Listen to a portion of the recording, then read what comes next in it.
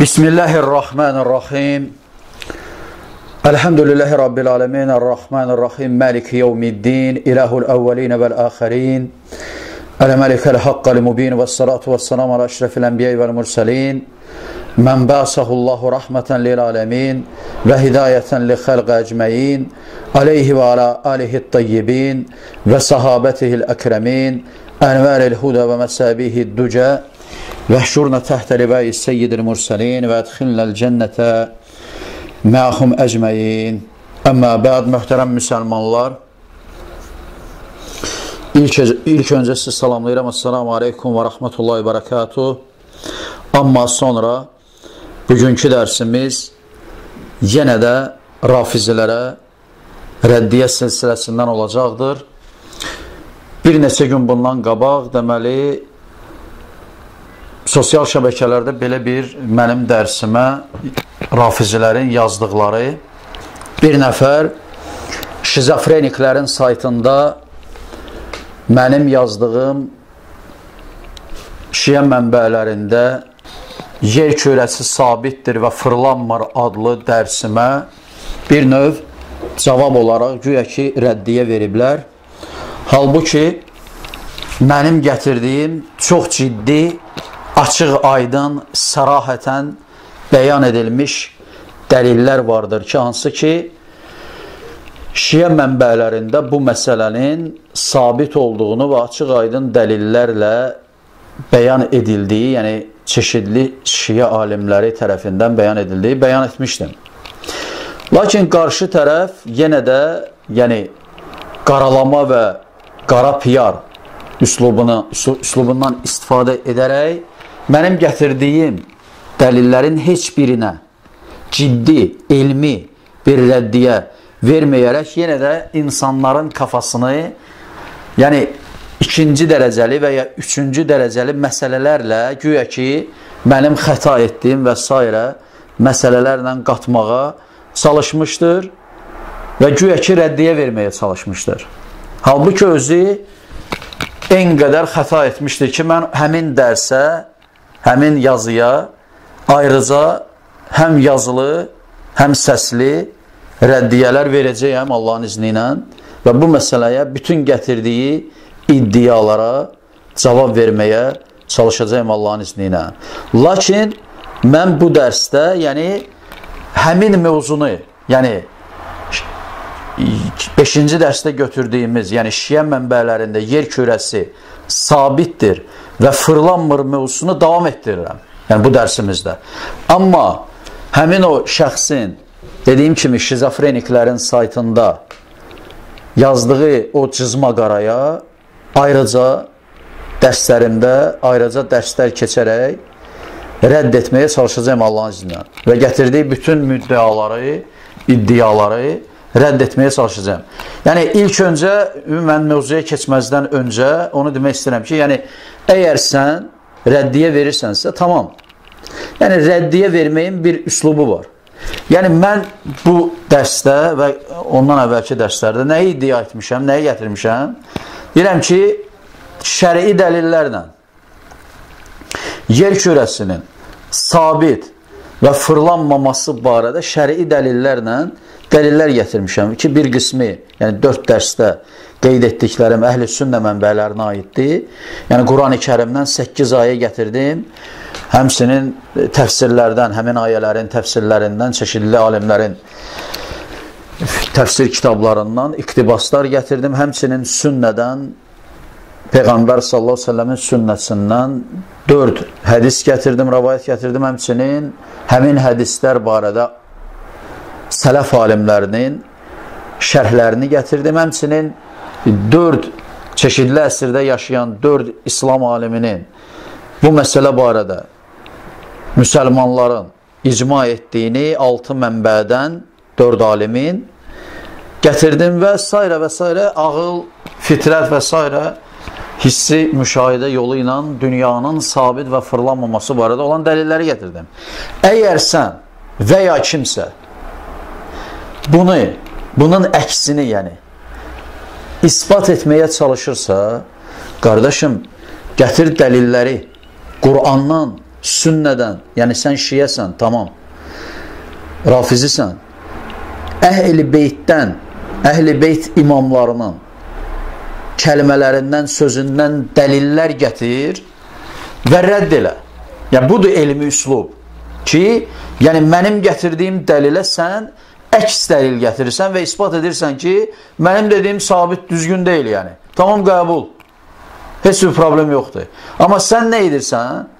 Hə, sən güya mənim gətirdiyim iddiaların batil olmasını, yəni ikinci, üçüncü dərəcədə taxılır, takılırsan bir məsələyə, filan kəs belə dedi, filan kəsə nə bilim e, Xomeyni dedi, Mustafa Xomeyni demədi, nə bilim, nə əlaqəsi var yəni?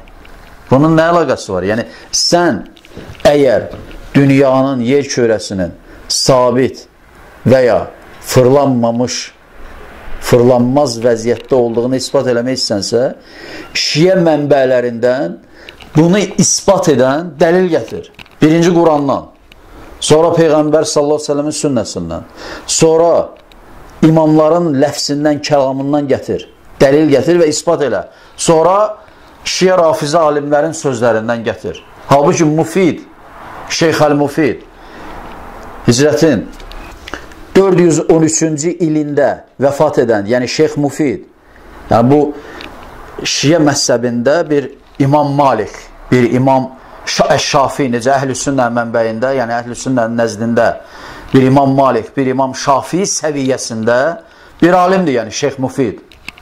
Yəni, açıq aydın deyir. Nə deyir? Açıq aydın deyir ki, yer kürəsi kainatın ortasındadır və o sakindir və hərəkətsizdir. Və onun sakin olmasının səbəbi, illəsi nədir?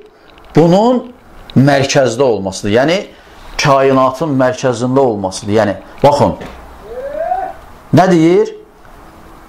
Yer kürəsinin fırlanmamasının və ya sabit olmasının və hərəkətsiz olmasının səbəbini deyir. Ki, bunun səbəbi nədir? Onun mərkəzdə olmasıdır. Subhanallah. Və həmin kəs, hansı ki, rəddiyə yazıb, nə yazır? Onun, yəni, Şeyx Mufidin, hicrətin 5-ci əsrində yaşayan, yəni şiyələrin böyük alimi, alimlərindən biri hər halda. Yəni onun sözünü nə ilə rədd edir? Subhanallah. Hə, bu nədir? Bu Şeyx Mufidin sözüdür və bu bizim məhzəb üçün e, rəy ola bilməz. Qardaşım, sən əgər bunu deyirsənsə, bu rəyə müxalif olan Şeyx Mufid səviyyəsində və ya Şeyx Mufiddən daha üstün olan 1, 2, 3 alimin fikrini gətir Və ondan sonra deyilən ki, Şeyx Mufidin dediyi onun rəyidir. Amma bu cür sözlərlə, yəni 5-ci əsri aliminin sözünü bu cür yəni bəsit və heç bir əsası olmayan iddialarla sən kimsən ki deyəm? Əlləməsən, ya alimsən. Yəni Şeyx Mufid alimdir. Yəni Şiə məzhəbi ona alim kimi tanıyır yəni. Kitabları var, çeşidli rəyləri var, əqidə babında və s. Tamam, bizə görə zəlalət əhlidir. Amma sənə görə sənin məzhəbinin ən öndə gedən 5 alimindən biridir yəni. Yəni sən bu alimin sözünü nə ilə rədd edirsən? Subhanallah. Öz sözlərinlə və ki, bu onun sözüdür və onun dediklərinin hamısı haqdır deyə, deyə bilmərik. Yəni onun dediyinin əksini hansı şi alimi deyib o səviyyədə və ya ondan üstün olan? Gətir də.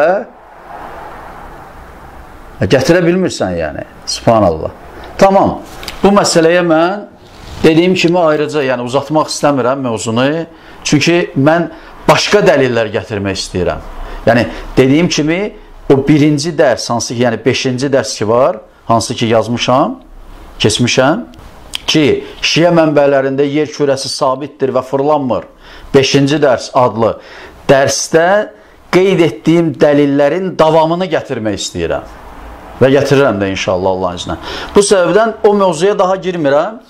Yəni, bunları qeyd etməklə kifayətlənirəm və o mövzunu inşallah yaxın günlərdə Allahın izni hər gətirdiyi iddia və, və etdiyi xətalar bəyan olunacaq Allahın izni və e, o fikrin ümumən və ümumən gətirilən iddialar hamısının batil olmasını Allahın izni isbat edəcəyim inşallah. Və hər kəsən də görəcək bunu inşallah.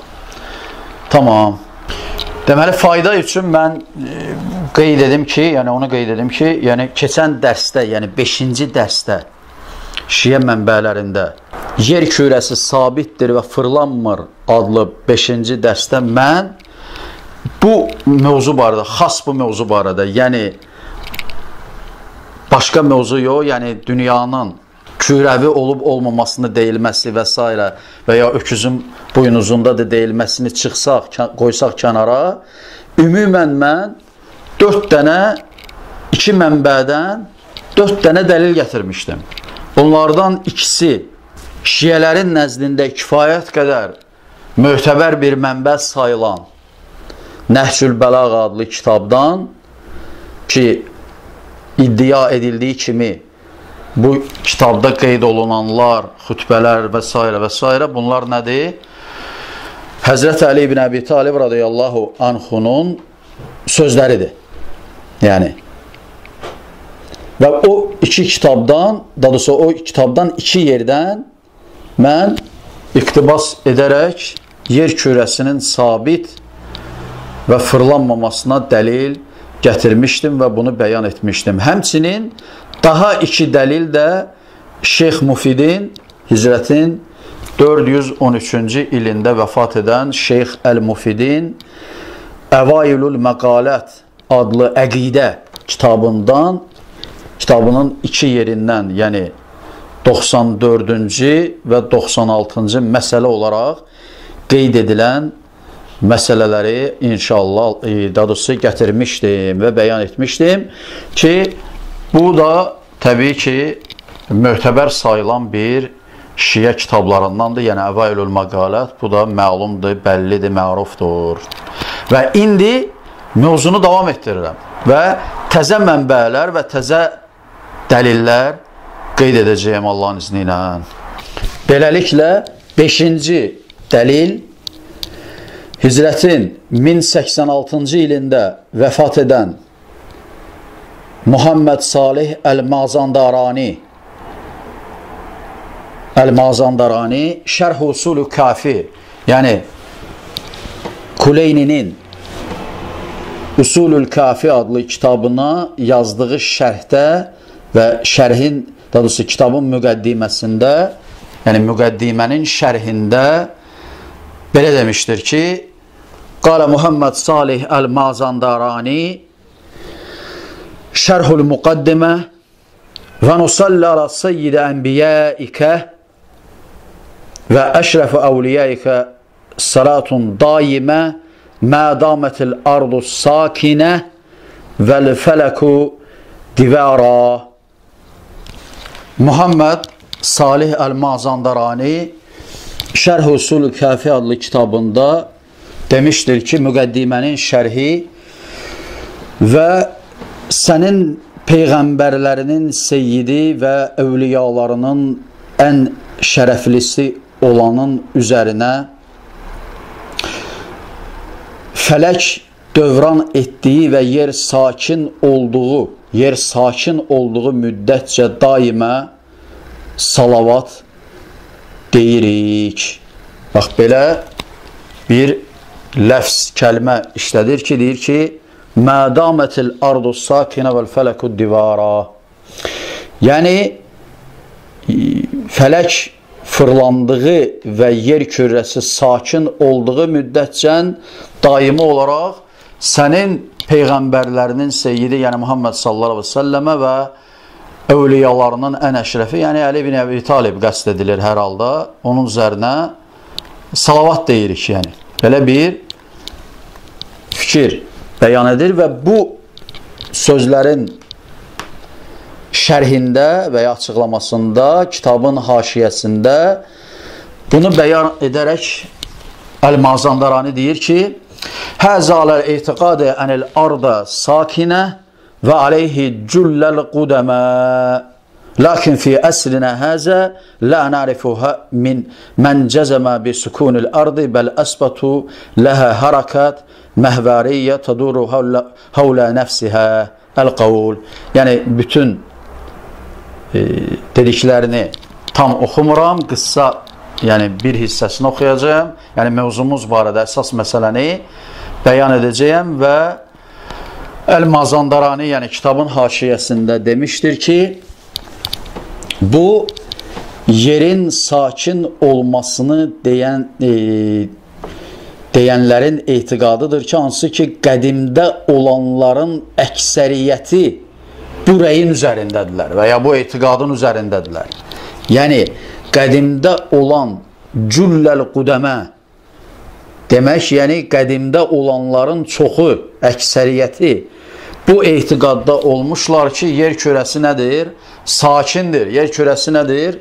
Yəni sabitdir və fırlanmır. Lakin bizim əsrimizdə isə yerin sakin olmasını, yəni açıq aydın cəzm olaraq deyilən, deyən bir kəsin olduğunu bilmirəm. Əksinə onlar deyirlər ki, yəni əks fikri isbat edirlər və deyirlər ki, yer kürəsi öz məhvəri, öz oxu ətrafında, öz e, nəfsi, yəni öz oxu ətrafında fırlanır, hərəkət edir. Bax belə, yəni Əl-Mazandarani Şərh Usulül Kafi kitabının birinci cildi 17-ci səhifəsində, yəni kitabın müqəddiməsində və onun haşiyəsində belə fikirlər deyir və bu da nə ifadə edir? Açıq aydın deyir ki, yer kürəsi sakindir, lakin fələk fırlanır, yəni, fıra, yəni onun ətrafında fırlanır və yer kürəsinin sakin, hərəkətsiz olmasını bəyan edir və həmçinin kitabın haşiyəsində nə deyir? Kitabın haşiyəsində bunu qədim olan alimlərin çoxunun olduğunu açıq aydın bəyan edir və bu etiqadda olduğunu açıq aydın bəyan edir. Şiyə mənbələrində yer kürəsinin sabit olması və fırlanmamasına dəlalət edən dəlillərdən altıncısı Hicrətin 14-cü əsrində yaşamış Sultan Əli Şah ləqəbi ilə ləqəbləndirilmiş Əl-Hac Sultan Muhammed Əl-Canabizi Təfsir-u Bəyan-ı Saadə fi Məqamətil İbadə adlı təfsirində Uca Allahın Ən-Nəhl surəsi 15-ci ayəsini təfsir edərkən demişdir ki və əlqa fil ardı rəvasiyə ən təmidə bikum yəni bu ayəni təfsir etmişdir. Ayədə deyilir ki Uca Allah demişdir ki, o sizi silkələməsin deyə yer üzündə möhkəm dağlar və düzgün səmt götürəsiniz deyə çaylar və yollar yaratdı.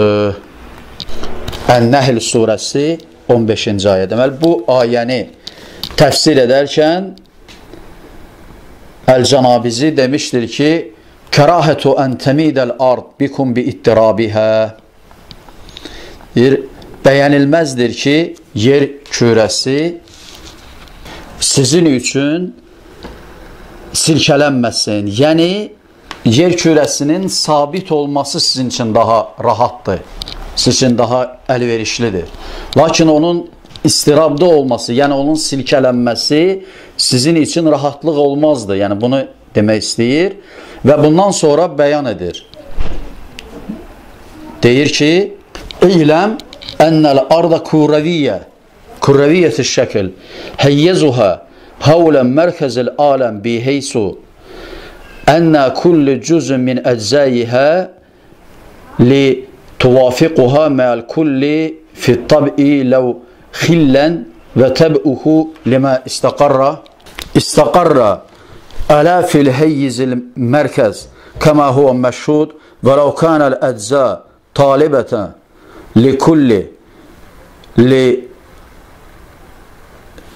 لسنخها كما قيل لازم عدم افتراق ما اتصل بقليل الجبال إلى إلى السفل والأرض الساكنة fi heyyizihə qeyri mütəhərrikə غير متحركة. وإن قال بحركتها المتحدثون بقوة الحس وليست تلك الكرة كالكرة الواقية في الماء الطافية فوق الماء حتى تحتج إلى ما يسكنها عن الحركة وإنقلاب. وليست الجبال ما يزيد في سكونها لأنه ليس ارتفاع الجبال المرتفية البالغة غاية الارتفاع بالنسبة إلى قطر الكرة إلا مقدار شعيرة أو أقل القول Əl-Cənabizi sözünə davam edərək deyir ki, bil ki, yer kürəvi şəkildədir və fəzada aləmin mərkəzinin ətrafında hər bir onun cüzlərindən olan, hissələrindən olan hissələr ona müvafiqdir və bununla bərabər həmsi və ona tabidir və hətta hər hansı bir xələl və təb təbində gəlmiş olsa da, olmuş olsa da və o e, istiqrar olunmuş vəziyyətdədir.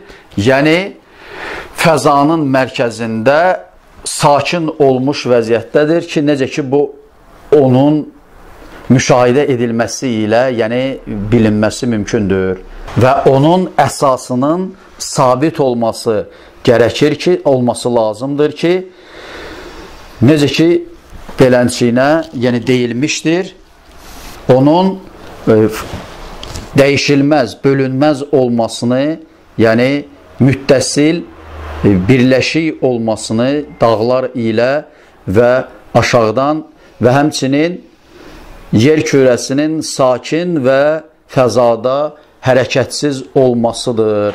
Əgər deyilsə ki, o hərəkət edir, necə ki, bunu bəzi e, danışanlar deyirlər, bu yəni hisslərinə qapılaraq qüvvəti olmasına səbəbindən, yəni hisslərinə qapılaraq deyirlər.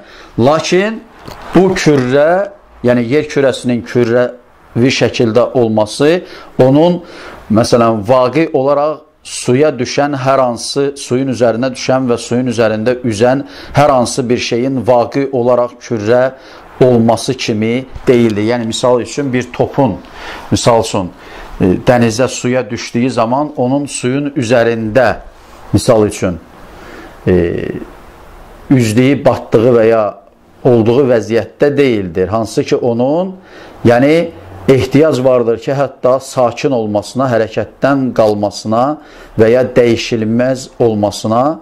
Halbuki dağlar onu saxlanması üçün və sakin olması üçün bir səbəbdir. Əgər dağlar olmasaydı, bu zaman onun sakin olması da mümkün deyildi. Lakin dağlar onun e, qalxmış və düz olmuş vəziyyətdə qalması üçün bir səbəbdir. Necə ki, bu onun qazılması zamanı da yəni buğda miqdarında və ya daha ondan daha az olmuş halda olmuş olsun. Yəni e, qazılıb yer kürəsində bunun edildiyi zamanda bunun müşahidə yaya mümkün olması mümkündür və bu sözlər ilə yəni Əl-Cənabizi açıq aydın yer kürəsinin sakin və hərəkətsiz olduğunu qeyd etmişdir və deyir ki, Vəl ardu sakina fi həyyizihə qeyri mütəhərrikə Yəni, yer kürəsi sakitdir və fəzada hərəkətsizdir. Yer kürəsi sakindir və fəzada nədir? Hərəkətsizdir. Açıq aydın, sarahətən net şəkildə deyilmişdir. Bundan sonra mən daha geniş bir araşdırma etdim və Qurandakı Ən-Nəhl surəsi 15-ci ayənin şiə mənbələrində olan təfsirlərinə baxdım. Yəni və bu ayənin məhz yəni yer kürəsinin sabit olması barədə dəlillər olduğunu əlhəmdülillah Allahın izni ilə tapdım və ilk olaraq in, yəni ayənin mətnini inşallah oxuyacağım. Nəhl surəsi 15-ci ayə Uca Allah demişdir ki: "Və əlqafil ardı ravasiyə ən təmidə bikum və enharan və subulan ləəllakum təhtədun." Uca Allah demişdir ki, o sizi silkələməsin deyə yer üzündə möhkəm dağlar və düzgün səmt götürəsiniz deyə çaylar və yollar yaratdı. Ən-Nəhl surəsi 15-ci ayə. Hicrətin 329-cu ilində vəfat edən Əl-Kuleyni Əl-Kafi kitabında rəvayət etdiyi uzun bir rəvayətdə demişdir ki, və bihəzəl isnad, yəni bu isnad ilə, yəni isnadın da əvvəli budur ki, yəni Əl-Kuleyni rəvayət etmişdir Əli ibn İbrahimdən, ən Əli ibn İbrahim, ən Harun ibn Muslim, ən Məsədə, ən Əbihi, e, dadusu, ən Əbi Abdillah aleyhissalam, ən Əbihi aleyhissalam, qalə qalə Nəbi sallallahu aleyhi və səlləm, mə xalaqallahu cəllə və əzzə xalqan illə وقد أمر عليه آخر يغلبه فيه وذلك أن الله تبارك وتعالى لما خلق البهار بهار السفلى فخرت وزخرت وقالت أي شيء يغلبوني؟ فخلق الأرض فستهها على ظهرها فظلت ثم قال إن الأرض فخرت وقالت أي شيء يغلبوني فخلق الجبال فأثبتها على ظهرها زهرها أوتادا من أن تميد بها عليها فزلت الأرض واستقرت وزلت الأرض واستقرت. El-Hədis Bu rəvayət uzun bir rəvayətdir, lakin mən mövzumuza aid olan hissəsini oxudum və Əl-Kuleyni bu rəvayəti gətirərək deyir ki, yəni Kuleyni rəvayət edir şeyxindən, Əli ibn İbrahim, İbrahimdən, o da Harun ibn Müslimdən, o da Məsədədən, o da Əbi Abdullah aleyhissalamdan, o da atasından, doğrusu iki atasından, aleyhissalamdan, o da demişdir ki, yəni atasından və babasından o da demişdir ki, Peyğəmbər sallallahu əleyhi və səlləm demişdir ki, əziz və cəlil olan Allah elə bir yaratdığını yaratmamışdır ki, illə onlara əmr etsin ki, başqasına üstün gəlsin və beləliklə Allah təbarəkə və təalə dənizin altını yaradarkən o fəxirləndi və doldu, daşdı və dedi ki, bəs hansı bir şey mənə üstün gələ bilər, mənə qalib gələ bilər? Və bundan sonra uca Allah yer, yeri yaratdı və onu döşədi zahirinə. O alçaq bir halda idi. Sonra dedi ki, bəs yer fəxr etdi və dedi ki, bəs hansı şey mənə üstün gələ bilər və uca Allah dağı, dağları yaratdı və onları e, üzərində, yerin üzərində yəni sabit etdi və payalar şəklində etdi və onları paya şəklində etməsi onların, yəni yerin e, sabit olmasına, titrəyişdən, zəlzələdən və s. sabit olmasına səbəb oldu və bu e, yeri e, zəlil etdi, yəni aşağıladı və yeri istiqrar halında olmağa etdi. Yəni, yer istiqrar halında oldu. Yəni, qərarlaşmış halda oldu ki, bu da onun hərəkətsiz olmasına, yəni, olması deməkdir ki, artıq yer kürəsi artıq sabit halda və ya qərarlaşmış halda oldu. Əl-Kuleyni bunu Əl-Kafi kitabında 129 sayılı rəvayətdən, yəni Rovda Minəl Kafi kitabında 8-ci cild 149-cu səhifədə rəvayət etmişdir. Düzdür, deyilə bilər ki, məsələn, Əl-Məclisi Mir'atul Uqul kitabında 25-ci cild 359-cu səhifədə və həmçinin Əl-Bəhbudi Səhihül Kafi kitabında bu rəvayəti zəiflət, zəif olduğunu demişlər. Ələ kulli hal, yəni bu heç nəyi dəyişmir. Ümumən, yəni rafizilərin nəzdində, yəni e, səhih, zəif məsələsi önəmli olan bir məsələ deyil. Bu məsələ, yəni e, o qədər də yəni dərinə gedilərsə, onların bütün rəvayətləri hamısı zəifdir, səhih rəvayət tapılması e, ya müşkildir, ya ümumiyyətlə mümkün deyil. Buna görə də belə bir e, yəni deyilməsi ki, filan hədis zəifdir, bu yenə də heç nəyi dəyişmir, yəni ümumən. Bu rəvayəti həmsinin başqa şiə müəllifləri də rəvayət etmişlər. Misal üçün elə Əl-Məclisinin özü, yəni Biharul Ənvar kitabında bu hədisi kitabın üç yerində, üç fərqli yerində hətta üç fərqli cildində, necə deyərlər, rəvayət etmişdir və öz sənədi ilə rəvayət etmişdir. Rəvayəti təkrar etmək istəmirəm, lakin mənbələrini deyəcəyəm. Əl-Məclisi Biharul Ənvar 1-ci cild 123-cü səhifə, həmçinin 54-cü cild 99-cu səhifə, həmçinin 57-ci cild 198 və 199-cu səhifələrdə bu rəvayəti 35-ci babda, birinci ciddə olan mənbəyini deyirəm, yəni Babu Nadir adlı babında rəvayət etmişdir.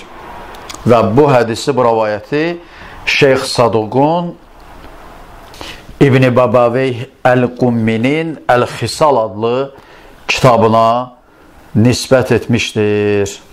Həmçinin bu rəvayəti yəni müasir olan alimlərdən, şi alimlərindən Heydər Əl-Hədravi Təəmmülət fil Quran-ül Kərim adlı kitabında məhz